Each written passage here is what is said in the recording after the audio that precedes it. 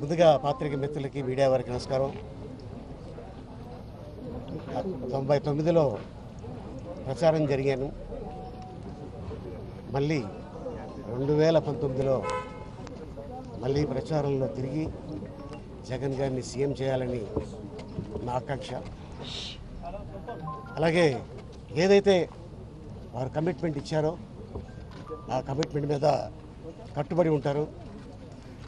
మాట ఇచ్చారంటే తప్పరు. అంటే మాట అంటే ఎట్లాంటి మాట ఇచ్చారు అని మీరు అనుకోవచ్చు. ఒక కమిట్మెంట్ అంటే అలీ నువ్వు మాకు చేయి ప్రచారం చేయి అద్భుతమైన మెజార్టీతో గెలిపించు. ఎందుకంటే ఈ ఫ్యామిలీకి నాకు ఏమీ కొత్త కాదు. గతంలో చెప్పాను ఇప్పుడు చెప్తున్నాను. వాళ్ళు సాగర్ సొసైటీలో ఉండేవాళ్ళు. ఒక వీధి పక్కనే మాది అరోరా కాలనీ. గతంలో వైఎస్ రాజశేఖర రెడ్డి గారు ఉన్న రోజుల్లో నేను నెలకి రెండు మూడు సార్లు ఇంటికి వెళ్ళేవాడిని కలిసేవాడిని మాట్లాడేవాడిని.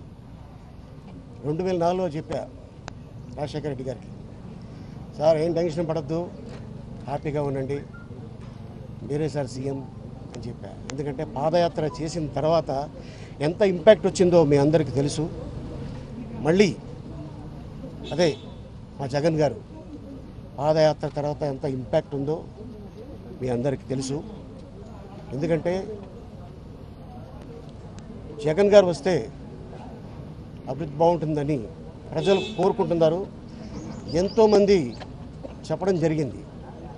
సో అందుకోసం నేను గతంలో కలిశాను మాట్లాడాను నన్ను రమ్మన్నారు నాకు కొద్దిగా సమయం కావాలన్నాను మీ ఇష్టం అన్నారు నిన్న సాయిరెడ్డి గారిని కలిసి సార్ నేను రావాలనుకుంటున్నాను అని చెప్పా. ప్లీజ్ వెల్కమ్ ఎప్పుడు మా పార్టీ మీకు మీ కోసం ఎదురు చూస్తుంది డోర్లు ఓపెన్ చేసి ఉన్నాయి అట్ ఎనీ టైం అన్నారు. సో ఈ రోజున జగన్ గారి చేతుల మీదుగా ఈ ఈ ఫ్యాన్ గుర్తు కండువా నా భుజం మీద కప్పుకున్నాను. తొంభై తొమ్మిదిలో కప్పుకున్నాను ఒక పార్టీ జా కండువా. మళ్ళీ ఈ రెండు వేల పంతొమ్మిదిలో ఈ పార్టీ కండువా కప్పుకున్నాను. డెఫినెట్గా మంచి మెజార్టీతో జగన్ గారిని సీఎం చేయడమే నా జయం ప్రత్యక్ష ఎన్నికల్లో అలీ పోటీ చేస్తారా? లేకపోతే అలీ ఎక్కడి నుంచి పోటీ చేసే అవకాశం పోటీ అనేది కాదండి నేను ఎందుకంటే ఆల్రెడీ పాదయాత్ర చేస్తున్నప్పుడు చాలామందికి నేను కమిట్మెంట్ అయ్యాను ఆలి ఇప్పుడు వాళ్ళని కాదని నీకు ఇస్తే వాళ్ళు ఫీల్ అవుతారు. ఎందుకంటే నువ్వు ఎలా నమ్ముకొని నా పార్టీలోకి వచ్చావో వాళ్ళు అలాగే నమ్ముకొని నా పార్టీలోకి వచ్చారు. వాళ్ళ తప్పించి ఇస్తే బాగోదు. నువ్వు నాకు ప్రచారం చెయ్యి.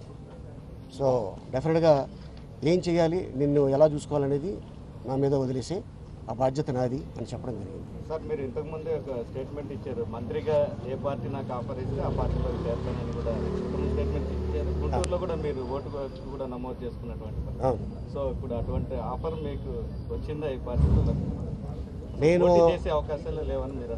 పోటీ అయితే నేను చేయట్లేదని నేను ప్రచారం అయితే చేస్తున్నాను. ఇక తర్వాత జగన్ గారి ఇష్టం. మంత్రి పదవి ఏమైంది?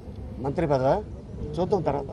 జనవరి తొమ్మిది విజయవాడ కానీ లేదంటే రాజమండ్రి కానీ ఎక్కడైనా కానీ పోటీ చేయడానికి రాజమండ్రి కానీ విజయవాడ కానీ ఎక్కడైనా ఉంటే చూసుకోండి అని చెప్పి చెప్పినట్టు ఉంది. సో ఒకవేళ రాజమండ్రి కానీ విజయవాడ కానీ ఇస్తే మీరు కంటెస్ట్ చేస్తారా? రాజమండ్రి కానీ విజయవాడ కానీ ఇస్తే తప్పకుండా కంటెస్ట్ చేస్తాను సార్ జనవరి తొమ్మిదిన ఇచ్చాపురం పాదయాత్ర ముగింపు సందర్భంగా జాయిన్ అవుతారని చెప్పి అప్పుడు అన్నారు. అది ప్రచారాలు వచ్చింది మధ్యలో మధ్యలో మీరు చంద్రబాబు గారిని కలిశారు మళ్ళీ పవన్ కళ్యాణ్ కూడా కలిశారు యాక్చువల్గా మధ్య మళ్ళీ మనసు మార్చుకొని వైసీపీ వైపు వచ్చారు. అంటే ఏంటి సార్ యాక్చువల్గా అలీ యొక్క పొలిటికల్ స్ట్రాటజీ అర్థం కాదు. అది పొలిటికల్ స్ట్రాటజీ అర్థం కాలేదని కాదు. కొత్త సంవత్సరంలో అందరినీ కలిశాను. అందరినీ కలిశాను అందరితో మాట్లాడాను. మాట్లాడి విషయం చెప్పి వచ్చా. సో అందరినీ ఎలా కలిశాను? అలాగే జగన్ గారిని కలిశాను అలాగే చంద్రబాబు గారిని కలిశాను అలాగే పవన్ కళ్యాణ్ గారిని కూడా కలిశాను. కలిసి అందరికీ విషయం చెప్పి వచ్చా. సో ఈ క్రమంలో ఏం జరిగిందంటే ఇక నేను ముగ్గురిని ఎందుకు కలిశాను అనేది అంత అందరికీ కన్ఫ్యూజను సో విషయం చెప్పడానికి వెళ్ళా. దట్స్ ఇట్ టీడీపీ నుండి కూడా విశేషం నిన్నటి వరకు కూడా టీడీపీలో చేస్తారు గుంటూరు నుంచి కంటెస్ట్ చేయబోతున్నారని బాగా ప్రచారం చేస్తారు అవునండి. అవును. ఏంటంటే గుంటూరు నుంచి ఏంటంటే స్థానికులకి ఇవ్వాలి అనేది చాలా మంది అక్కడ అబ్జెక్షన్ పెట్టారు. స్థానికులకి ఇవ్వాలి స్థానిక ఇవ్వాలంటే స్థానికులకు ఒకే ఒకవేళ ఇచ్చినా కూడా గెలిచే పొజిషన్లో వాళ్ళు లేరు. సో ఎందుకంటే ఓకే వాళ్ళని ఎందుకు మనం ఇబ్బంది పెట్టడం? ఓకే రాజమండ్రి ఆలి. రాజమండ్రి నుంచి గుంటూరు వెళ్ళాడు. గుంటూరులో సీట్ అడిగాడు. గతంలో మేము మీ పార్టీకి ఎన్నో సేవలు చేసాం మమ్మల్ని కాదని ఆయనకి ఎలాగిస్తారు? అని చెప్పి చాలామంది వచ్చి కొంతమంది ఆస్పిరెంట్స్ ఇబ్బంది పెట్టారు. అది నాకు తెలిసింది. సో రేపు పొద్దున్న నేను వెళ్ళి పోటీ చేసిన కూడా అదే ఇబ్బంది నేను కూడా ఎదుర్కోవాలి. సో ఆ ఇబ్బంది వద్దు అనుకొని నేను మానుకున్నాను. వైసీపీలోకి రావడానికి కీలక పాత్ర పోషించి గులాం రసూల్ అనే ఎస్ గులాం గారు అండ్ అలాగే రసూల్ గారు. ఇంకా చాలా ఎక్కడెక్కడ స్టార్ట్ చేస్తారు? ఏంటి పార్టీ ఎక్కడి నుంచి అంటే అక్కడి నుంచి నేను స్టార్ట్ చేస్తాను అతను సాయిరెడ్డి గారు ఉన్నారు. అలాగే జగన్ గారు ఉన్నారు. ఎక్కడి నుంచి స్టార్ట్ చేయాలి? ఎక్కడ ఎండ్ చేయాలనేది పార్టీ నిర్ణయిస్తుంది.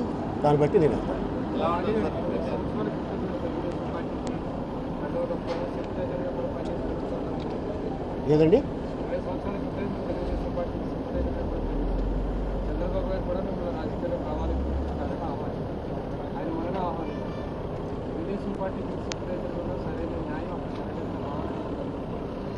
న్యాయం జరగలేదని కాదు బట్ సమూహం అక్కడ ఎందుకో ఎప్పుడు వెళ్ళినా కూడా చూద్దాం చేద్దాం అనే మాటే తప్ప కాంపిటెంట్గా దా నేనున్నాను.